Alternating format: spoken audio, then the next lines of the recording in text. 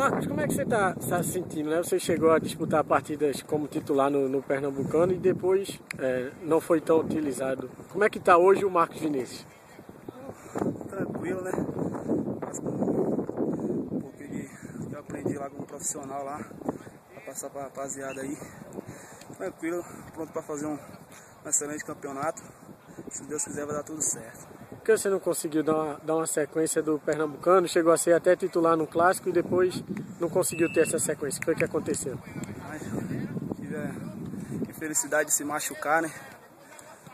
Fui, fui um jogo titular contra o Araripina no Pernambucano. Quando ia dar sequência, me machuquei aí. Fiquei um monte de tempo parado. O professor Valdemar também dava oportunidade, pegou foi embora e foi isso que aconteceu para o ano que vem agora o Náutico novamente na Série A, tem a Sul-Americana, você espera ter, ter uma nova chance, já que você é uma grande promessa aí desse time das categorias de base? Com certeza, né? Trabalhando para isso. Se Deus quiser, ano que vem eu vou estar tá Pernambucano aí atuar para ficar aí de vez no profissional. E esse campeonato brasileiro, né? Qual é a tua expectativa? Expectativa de fazer um, um bom campeonato, né? Atuar bem, que todo mundo tá vendo, o mundo todo.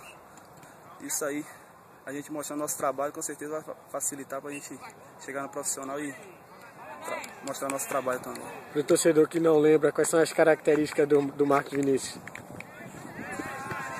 Técnico, né? Muito técnico. É, como é que se diz?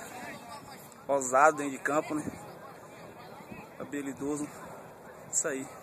O torcedor vai escutar muito falar de mim ainda e vou dar muita alegria a essa torcida aí.